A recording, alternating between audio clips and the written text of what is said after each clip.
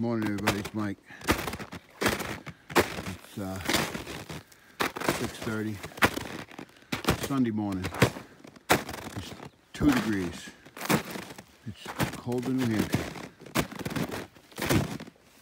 You can hear the snow crunching.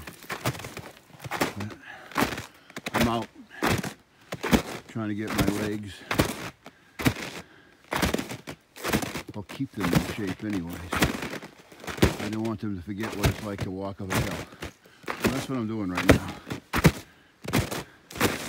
You know, I've been up since 4 this morning. Um, I'm three days out. And I got a lot on my mind.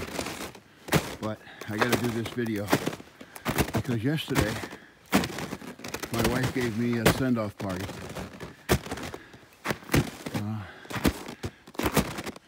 And it ended up being an unbelievable day. Look at that moon.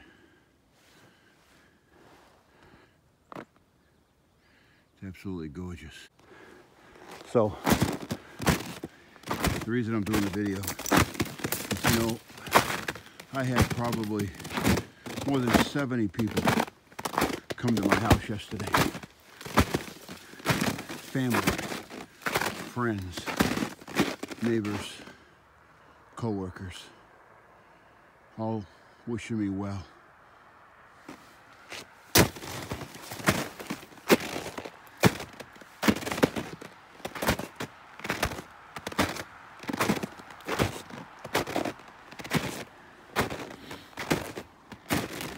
It's actually pretty emotional thinking about it.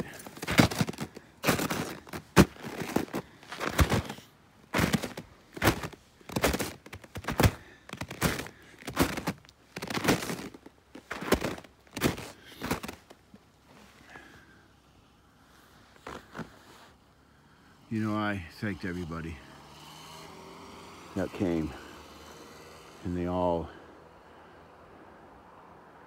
they were just great. And I thanked everybody that left, but you know, I, I'm doing this video just to, because most of them will be watching this.